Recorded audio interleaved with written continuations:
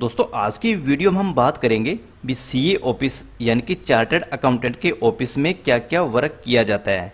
तो दोस्तों, इस टाइप के क्वेश्चंस काफ़ी सारे लोग अक्सर पूछते रहते हैं और काफ़ी सारे लोगों के माइंड में भी ये बात रहती है भी जो सीए का ऑफ़िस होते हैं, वहाँ पर अकाउंटिंग से रिलेटेड या फिर टैक्स कंप्लाइंस से रिलेटेड क्या क्या वर्क किया जाता है।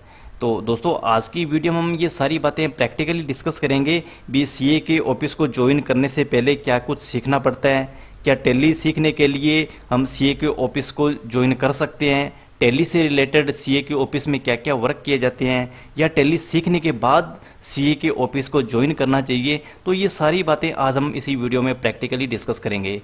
तो दोस्तों, अगर आपके माइंड में भी इसी टाइप के लेकर कोई क्वेश्चन है सीए के ऑफ़िस में किस टाइप की वर्किंग होती है क्या सीए के ऑफ़िस को ज्वाइन करना चाहिए? तो अगर आज की वीडियो को एंड तक आप कंप्लीट देख लेते हो तो सारी कहानी आपको समझ में आ जाएगी भी सीए के ऑफ़िस में किस किस टाइप की वर्किंग करी जाती है। तो दोस्तों, हर एक चार्टेड अकाउंटेंट है, वो अपने प्रोफेशन को अलग अलग टाइप से मेंटेन करते हैं।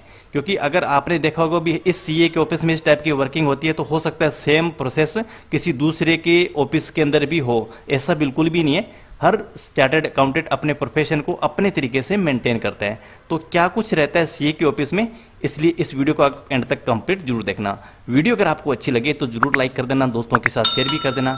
अगर आप हमारे चैनल पर नए हो तो चैनल को भी आप सब्सक्राइब करने के साथ साथ नोटिफिकेशन बेल को भी ज़रूर ऑन कर लेना, क्योंकि हम आपके लिए इस चैनल पर टेलीप्राइम सॉफ्टवेयर और बिज़ी अकाउंटिंग सॉफ्टवेयर की प्रैक्टिकल वीडियो कंटिन्यू अपलोड करते रहते हैं।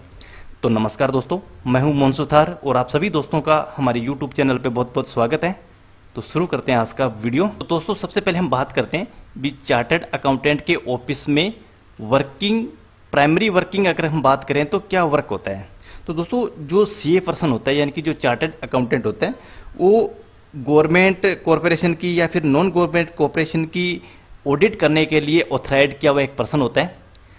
चाहे वो इंटरनल ऑडिट की बात हो, चाहे वो स्टेचरी ऑडिट की बात हो।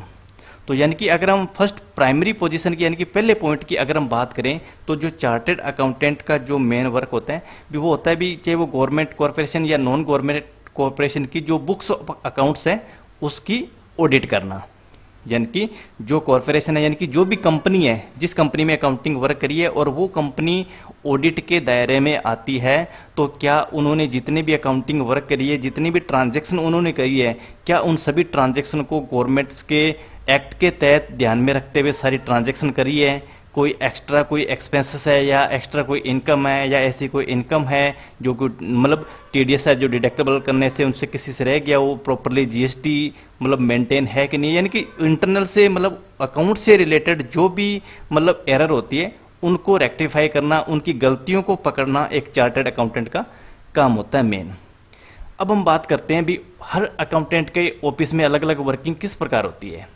तो दोस्तों, हर एक चार्टेड अकाउंटेंट अपने प्रोफेशन को अपने तरीके से मेंटेन करते हैं। कैसे करते हैं?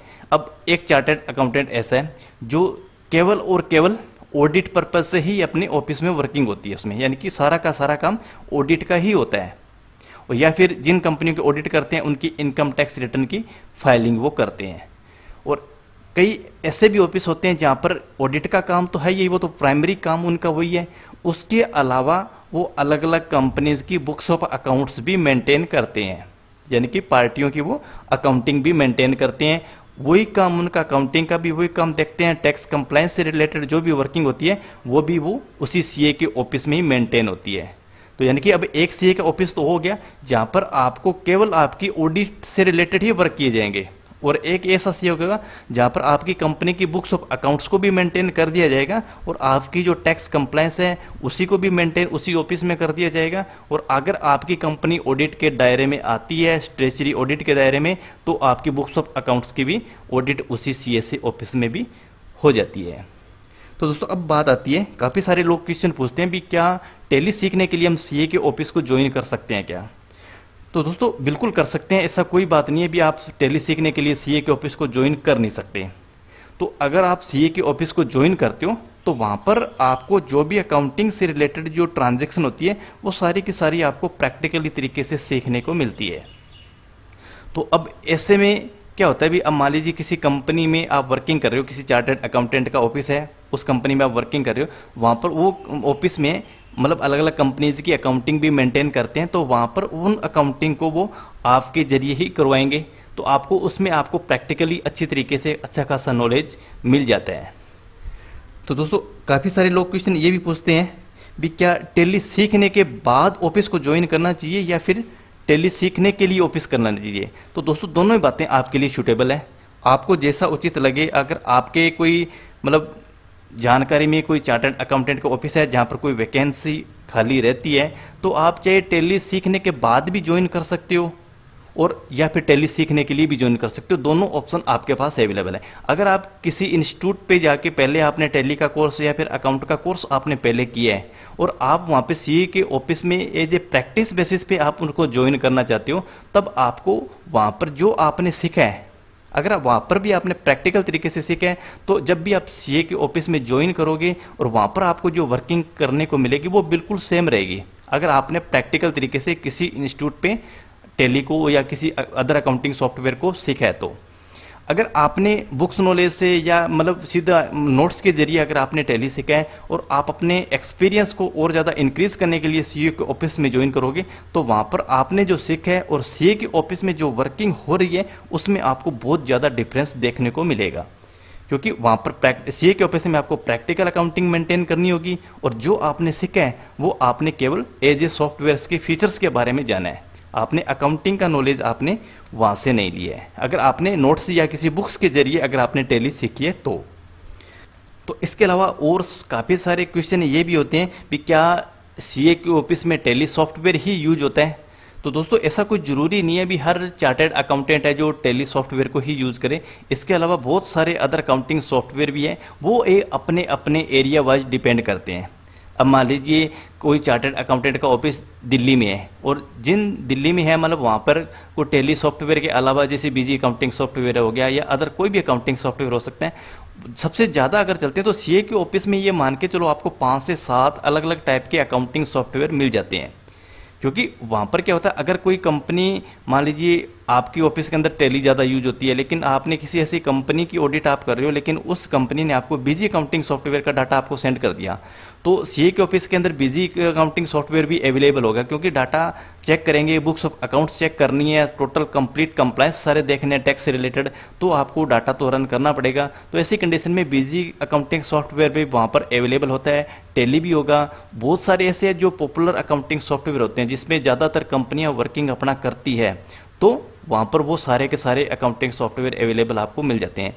कई ऐसे होते हैं जो अपनी रिक्वायरमेंट के आधार पे अकाउंटिंग सॉफ्टवेयर है, जो कंपनियाँ तैयार करवाती है।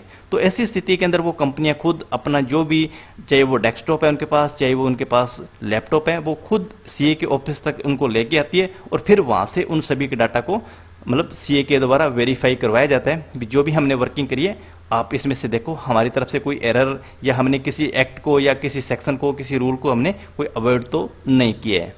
तो ऐसी स्थिति में दोस्तों, जो चार्टर्ड अकाउंटेंट का ऑफ़िस है, उसमें अलग अलग टाइप की वर्किंग होती है। एक ऐसा वर्किंग जहाँ पर आपको ए टू जेड काम करने को मिलेगा।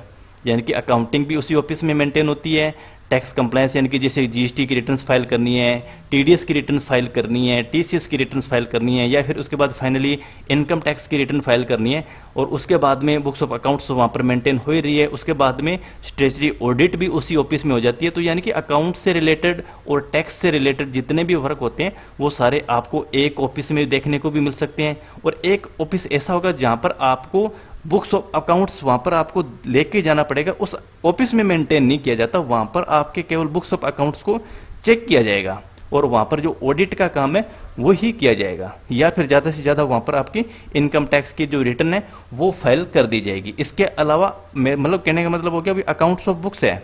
यानी कि जो टेली या बीजी अकाउंटिंग सॉफ्टवेयर से रिलेटेड वहाँ पर कोई वर्किंग है जो नहीं करी जाती।